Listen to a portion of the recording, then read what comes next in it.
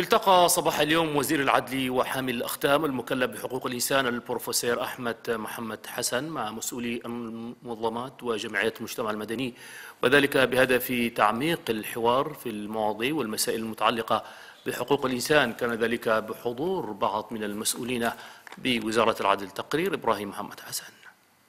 بهدف الاطلاع على الأوضاع الإنسانية في البلاد جاء لقاء وزير العدل حامل أختام المكلف بحقوق الإنسان بروفيسور أحمد محمد حسن مع المنظمات والجمعيات الحقوقية لدى البلاد.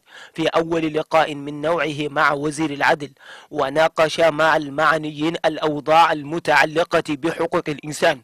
في كلمة شكر الحضور على تلبية الدعوة ودعا إلى الحوار البناء في المسائل المتعلقة بحقوق السجناء والنزاعات القبلية واستمع إلى آراء الحاضرين من مسؤولي المنظمات والجمعيات الحقوقية ورد عليهم بكل شفافية ووضوح قائلا. أول مرة في تاريخ تشاد يحصل التقاء بين وزير العدل وحقوق الإنسان ومع المنظمات تحفظ حقوق الإنسان أو تنافس أو تطالب بحقوق الإنسان حفظ حقوق الإنسان للإنسان.